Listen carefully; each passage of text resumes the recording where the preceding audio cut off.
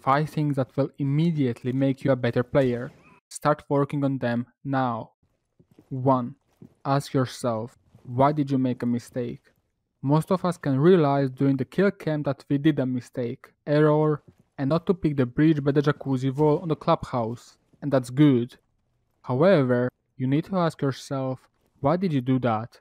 Understanding why did you make a mistake, why did you overpick the attackers, why did you change the angle on the top of the white stairs of the bar's hallway on cafe that you were supposed to cover when your teammate was in the freezer holding the white hallway?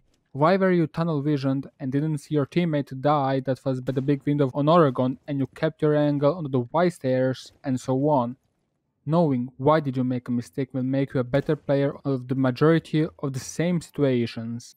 Understanding that you shouldn't have hold more passive angle that you were supposed to won't help you.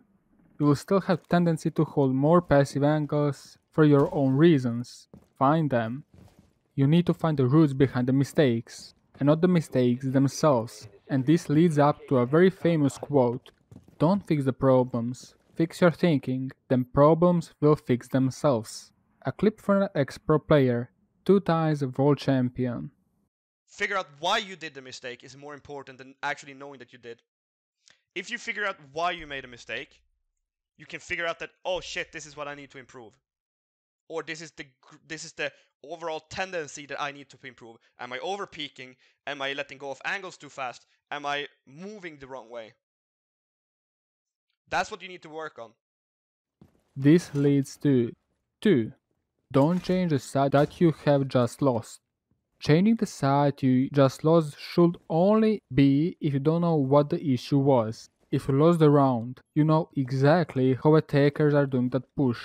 Therefore, you exactly know what to expect from them, and you should know how to adjust your strat or the way you're thinking in order to counter them.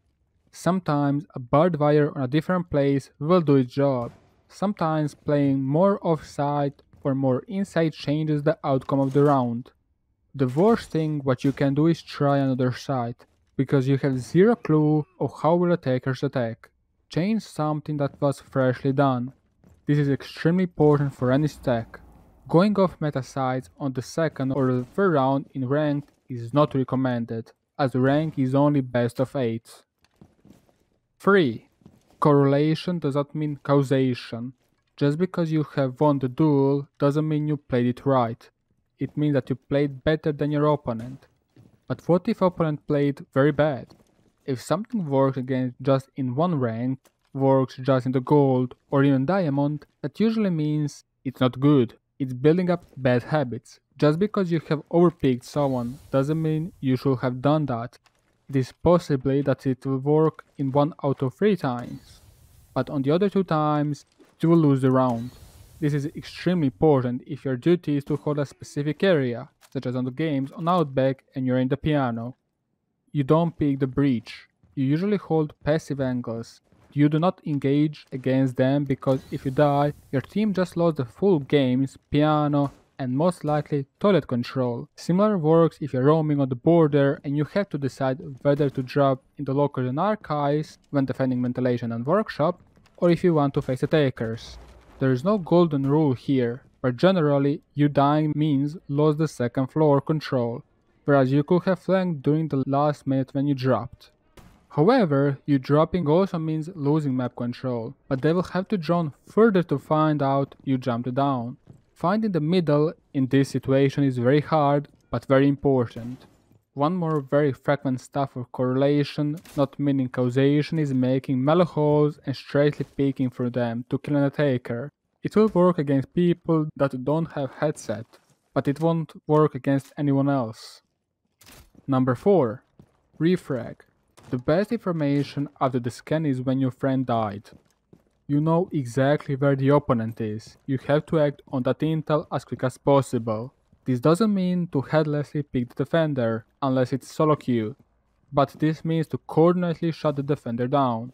If you're in a solo queue, that usually won't be able to happen, to coordinately push him down. And in solo queue, refragging immediately is probably the way, unless you are 100% expected and fighting against the mysterious Alda of Maestro. If you're in a stack, refrag does not need to happen within the first 5 to 10 seconds. If your team died by the janitor's hallway, from the janitor, close the defender down from the lobby whilst you are holding passive angle on that guy.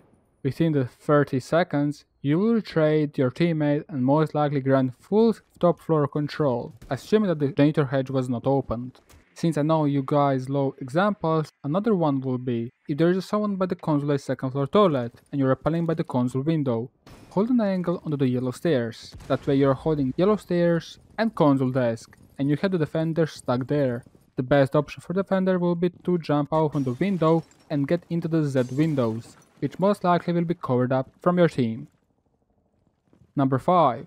Engage more with less experienced people. Anyone that is studying at a college or anywhere higher knows that once you have the knowledge to teach someone properly how to do one thing means you know how to do that properly. Trying to explain how does X work to less experienced people and by less experienced people doesn't need to be a new player. It will give you even more insight how does the X thing work. If you are failing to explain how does X work for someone, then you should work on that area because you're insecure about that. And again, this can be done even to advanced people.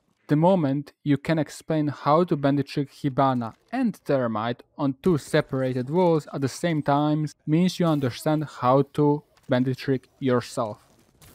Or if you know how to explain someone attacking laundry and games on Outback, and you most certainly will know how to attack on Outback. Thank you for watching this video and staying with me for this long, and thanks all the patrons and YouTube members for making this video available. If you want to learn all the basics and advanced things about the Siege, make sure to give me a like, subscribe and notification bell to get all notifications from my channel. Make sure to give me feedback down in the comment section below.